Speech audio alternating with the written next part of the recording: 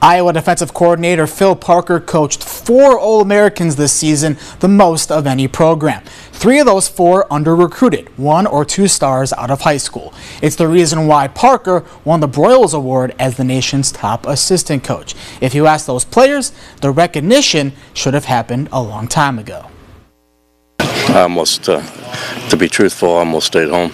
So I just, uh, I was forced to get on the plane and, and go, go on there and just to do respect for the Broyles and, and, and that. I never got into it for awards or anything like that. I just rather coach my guys and leave me alone, you know. Sorry about that, but he he was on he was on a list with some coaches who had some pretty pretty big schools uh, who who the media loves. So it was good for uh, Iowa coach to, to, get some recognition. And I mean, I feel like he he could have won it a couple of times in his career uh, by now. But just happy for him. Happy for him to get that recognition. He looks the same in that picture, in home visits, anytime. it's all the same.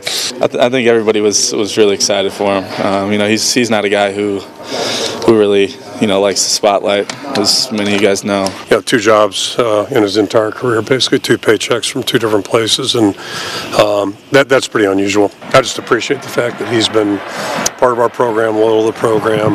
Not that anybody owes us anything, but the fact that he's chosen to stay here and be part of this is just that's really significant. It's a big part of the reason I'm still standing here.